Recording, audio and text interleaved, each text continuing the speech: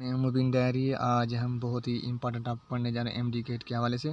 Chapter हमारे पास reproduction है और जो टॉपिक है फीमेल रिप्रोडक्टिव सिस्टम है, ये हमारे एम डी गेट के सिलेबस में भी है। मैंने बहुत ही आसान तरीके से वी आई पी तरीके से लिख दिया है। आप इनको समझेंगे इन ये लेक्चर सुनने के बाद आपकी इसमें हर चीज़ क्लियर हो जाएगी। आई होप जिसने चैनल मेरा सब्सक्राइब नहीं किया, वो प्लीज़ सब्सक्राइब कर दीजिए। ताकि उनके पास मेरा नोटिफिकेशन पहुँच सके और उनका भी फ़ायदा हो आगे एम बी बी बनने में उनकी मदद हो जाए। तो हम शुरू करते हैं female reproductive system previous lecture में हमने पढ़ा था मेल रिप्रोड सिस्टम अब हम क्या पढ़ रहे हैं? फीमेल रिप्रोड सिस्टम ओवरीज हैं। ओवरीज क्या है? ओवल हैं सॉलिड होती हैं ए पेयर एक पेयर होता है।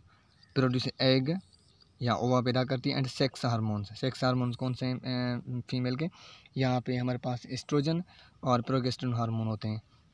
ओविडक्ट्स का दूसरा नाम फेलोपिन ट्यूब है, ये पॉइंट आपको याद रखनी है। ये भी पेयर होता है, एक pair conduct egg location of fertilisation sperm enters proximal part ये पेयर होता है और इस एग को कंडक्ट करता है या ओवम को। तो यहाँ पे लोकेशन है फर्टिलाइजेशन की। ये सवाल आ सकता है कि fertilization takes place in ovaries oviduct fimbria uterus तो राइट आंसर होगा हमारे पास ओविडक्ट या फेलोपिन ट्यूब तो इस पर हम कहाँ से इंटर होता है? कौन से हिस्से से ओविडक्ट में? प्रोक्सिमल पार्ट ये इंटीटेस की पॉइंट है। कौन सा पार्ट है? ठीक है। फिम्बराई क्या है? End of the fallopian tube fallopian का जो ट्यूब का एंड होता है, हम उनको फिम्बराई बोलते हैं। यूटेरस क्या है? Uterus is commonly called womb ठीक है? वोम्ब इसका फ़ंक्शन का है? Houses of developing embryo and foetus है। ये इसमें क्या होता है कि डेवलपमेंट ऑफ़ बेबी होती है और ये फेटस होता है। फेटस जो है एक छोटे बच्चे को बोलते हैं, ठीक है? और यहाँ पे इनका जो outer layer is myometrium outer layer myometrium होता है और वो उनका शेप याद रखना है पियर शेपड होता है। और जो इनर लेयर होता है, उसको स्पोंजी या एंडोमेट्रियम का नाम देते हैं। ये पॉइंट आपको याद रखनी है। किरवेक्स से किरवेक्स क्या है narrow opening of uterus bottom जो यूटिरस का जो बॉटम है, वहाँ पे जो ये नेरो ओपनिंग है, हम उसको किरवेक्स बोलती हैं, जो लीड टू वेजाइना जो वेजाइना की तरफ़ जाती हैं। ये ओपनिंग याद रखनी है। वेजाइना क्या है? A muscular tube which receive penis during copulation vagina एक मस्कुलर ट्यूब है जो रिसीव करता है penis means copulatory organ sex organ male during copulation copulation के दौरान फर्टिलेशन के दौरान एंड डिलीवरी ऑफ़ फेटस ये डिलीवरी भी करता है फेटस की, जो छोटा बच्चे की। Vagina is also called birth canal vagina का दूसरा नाम है बर्थ केनाल तो हम इनको आगे मज़ीद स्टडी करते हैं। मैं आपको बताऊँ इनकी हार्मोनल कंट्रोल ऑफ़ ओवरीज कैसे होता है? तो उनके नेगेटिव फीडबैक सिस्टम कंट्रोल करता है हार जो भी मेल या फीमेल का जो हार्मोनल सिस्टम है, वहाँ पे जो है नेगेटिव फ़ीड सिस्टम कंट्रोल करता है रिप्रोडक्टिव साइकिल या रिप्रोडक्शन में। ये आपको याद रखनी है। ये हाइपोथैलेमस है। हाइपोथैलेमस मैंने आपको बताया था। ये connect link between nerve system and endocrine system hypothalamus releasing inhibiting hormone है। इनके पास सिकेटरी सेल्स होते हैं।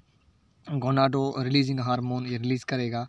रिलीज़ करेगा कहाँ जाएँगे? एंटीरियर पिच्यूटरी ठीक है एंटीरियर पिच्यूटरी हमारे पास master gland of the body है और ये क्या करेगा? Anti secrete anterior pituitary gland क्या करेगा?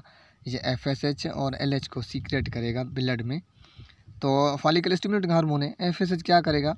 डेवलपमेंट ऑफ़ फॉलिकल ये पॉइंट आपको याद रखनी है। एफ़ का क्या काम है?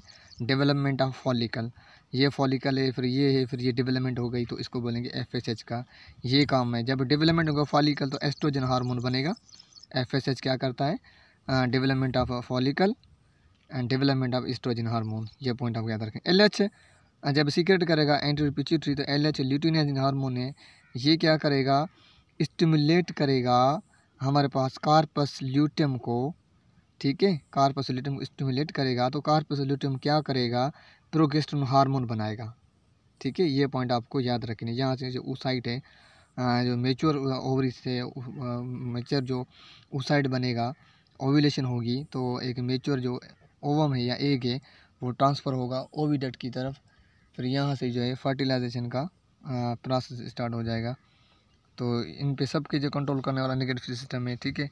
तो ये पॉइंट आपको क्लियर हो गई। इन अब अगले लेक्चर में आ, मैं आपको पढ़ाऊँगा कि फ़ीमेल रिप्रोडक्ट साइकिल पढ़ाऊँगा। उसमें जो इनके फेजेस हैं ओवुलेशन है कार्पस ल्यूटम फ़ेज़ है फॉलिकलर फ़ेज़ है जो मेंसेस जो साइकिल होती है वो मैं आपको पढ़ाऊँगा। आपको ये पॉइंट याद रखनी चाहिए कि इनके हार्मोनल कंट्रोल जो ओवरीज है इस पर निगेटिव फीडबैक सिस्टम कंट्रोल करता है। ठीक है? जिसने चैनल को सब्सक्राइब नहीं किया वो सब्सक्राइब कर दीजिए। इन फिर जो है नेक्स्ट लेक्चर मेरा होगा, वो होगा फीमेल रिप्रोडक्टिव साइकिल ठीक है? इन दुआ में याद। अल्लाह हाफि thank you I love you.